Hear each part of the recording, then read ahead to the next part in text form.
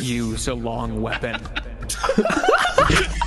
If you are forced to defend yourself against an ostrich, avoid close quarters combat. Keep as far out of reach of its legs as you can. Use the nearest, longest object that could be used as a weapon. There's a side note here. If you have a gun,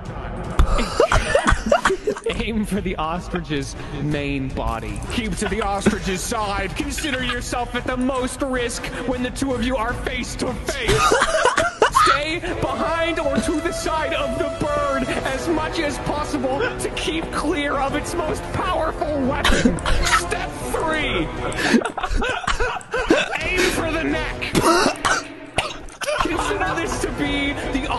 Ostrich's weakest body part, despite their considerable size.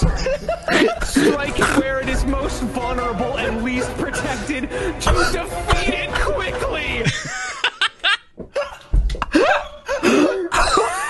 Oh my god. legs! if you find yourself behind or to the side of the ostrich with an easy shot to one of its legs, comma, take it, period.